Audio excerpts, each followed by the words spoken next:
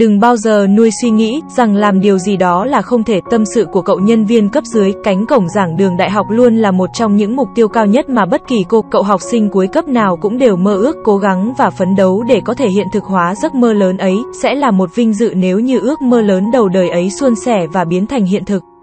Thế nhưng với một kẻ luôn mang trong mình hình bóng của sự lo âu, luôn nghĩ đến những khó khăn mà mình sẽ phải đối mặt, sợ không dám đi đến cùng với mục tiêu của mình như tôi, thì ước mơ ấy là một điều gì đó quá xa xỉ. Hồi đó, ước mơ được trở thành một phóng viên báo chí là điều mong mỏi lớn nhất đối với bản thân tôi.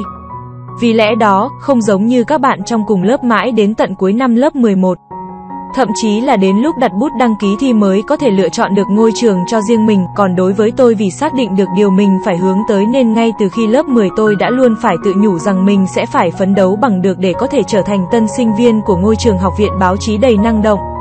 Nhưng ước mơ là một chuyện, còn thực tế lại là một dãy những tác động khác khiến tôi phải cân đo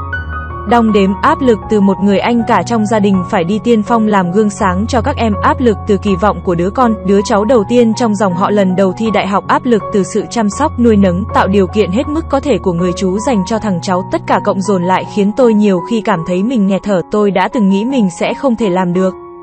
Cũng đã không ít lần có thể hình dung ra những sự thất vọng qua những kỳ vọng trên những gương mặt lại càng tin tưởng hơn vào linh tính ấy khi học lực của mình quả thực không có gì gọi là quá nổi trội, nhưng sau tất cả những hoài nghi ấy, tôi lại trấn an mình bằng dòng động viên mình làm được mà, mình sẽ thành công thôi, không gì là không thể, chính những khó khăn đầu đời ấy đã dạy tôi rằng dù có ra sao, cũng đừng bao giờ manh nha một chút suy nghĩ là mình không thể làm được, hãy cứ cố gắng hết mình thì tin rằng mọi chuyện ắt sẽ được đền đáp. Bạn thân mến, người thất bại không hẳn là người không có kiến thức chuyên môn, thậm chí họ còn có kỹ năng rất tốt, nhưng cái mà họ thiếu là không đủ bản lĩnh, ý chí để vượt trèo qua những đợt sóng khó khăn cứ liên tục tìm đến. Người thành công chắc chắn phải là người có trình độ, nhưng điều đó không có nghĩa là người thất bại họ không sở hữu cho mình những điều đó. Thậm chí họ còn là những người những kỹ năng rất tốt là đằng khác. Vậy vì đâu mà thành công đến nay vẫn chưa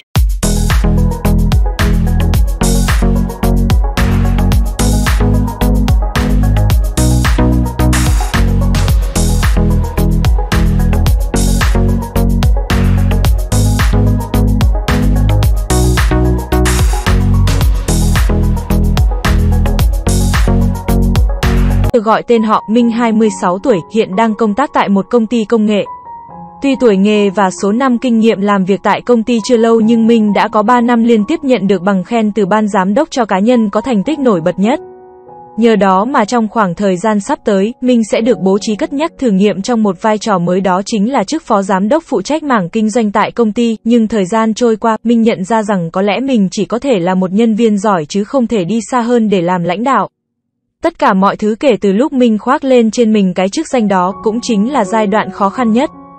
Áp lực từ doanh số, áp lực từ đối tác, áp lực từ việc điều hành nhân viên, mọi thứ nó khác xa hơn nhiều so với những gì nhẹ nhàng trước đây Minh từng làm, kiến thức có đấy, kinh nghiệm có đấy, kỹ năng lại càng không phải là vấn đề. Cái vấn đề lớn nhất ở đây chính là điểm yếu về ý chí, về sức chịu đựng khi bị áp lực bùa vây, thay vì đứng lên để chiến đấu Minh lại chọn con đường rút lui để an toàn. Để không còn bị ngày ngày đau đầu với những điều đó nữa, có thế chúng ta mới hiểu được người thất bại không hẳn là người không có kiến thức chuyên môn, thậm chí họ còn có kỹ năng rất tốt, nhưng cái mà họ thiếu là không đủ bản lĩnh, ý chí để vượt trèo qua những đợt sóng khó khăn cứ liên tục tìm đến, lửa thử vàng, gian nan thử sức, ý chí chính là sự khác biệt để tạo nên sự thành công. Người thành công họ cũng bình thường như bao người khác, họ cũng hàng ngày phải đối mặt với khó khăn trong công việc, áp lực trong cuộc sống, họ cũng từng chán nản, đến nỗi nhiều lần muốn vứt bỏ tất cả để an yên ở một vị trí bình dị nào đó, nhưng vượt lên tất cả, họ vẫn sống mạnh mẽ qua những lần khó khăn, vẫn kiên cường qua từng rông bão, khác biệt của người thành công không có gì quá tầm với.